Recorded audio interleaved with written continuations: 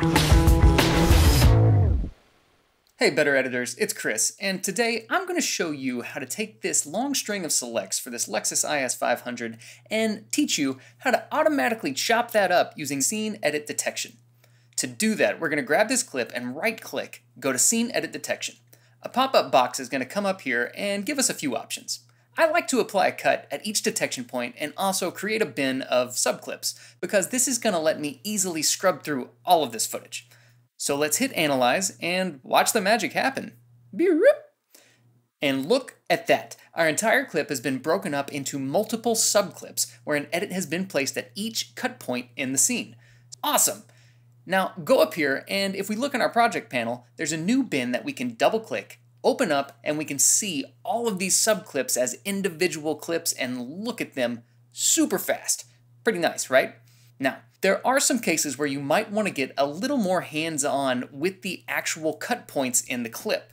To do that, we're going to need to jump into DaVinci Resolve. You can use the free version of DaVinci Resolve to do this.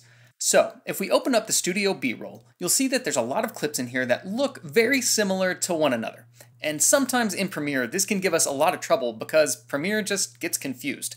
Well, what's nice is in DaVinci, we have a little more control over where things are cut. So in the Media tab, we're going to right-click the clip that we're interested in cutting up. And then we'll go to Scene Cut Detection. And so what you'll see is there are a bunch of green lines that DaVinci Resolve has added to this scene, and the height of each line represents the probability that there's an actual cut at this location. Let me show you what I mean. Let's look at this gray line over here. If we look at this, we can tell that there is a cut at this point, but you can see why Resolve is confused. This clip, it slightly pulls out right here and there's a slightly wider shot on the cut before it. So what I'm going to do is grab this pink bar and pull it all the way down here to where the probability of this cut is. And from what I've seen, DaVinci has done a pretty good job of finding the rest of these edits, so I think we'll be safe here. Then I'm going to say add cuts into the media pool. Close the window and boom, we're ready to go. Our single clip has been broken up into multiple clips. Now, the bummer here is that there's not always a good way to get these clips that we've just made in DaVinci back into Premiere Pro. And you're probably saying, well, you can export an AAF or an XML.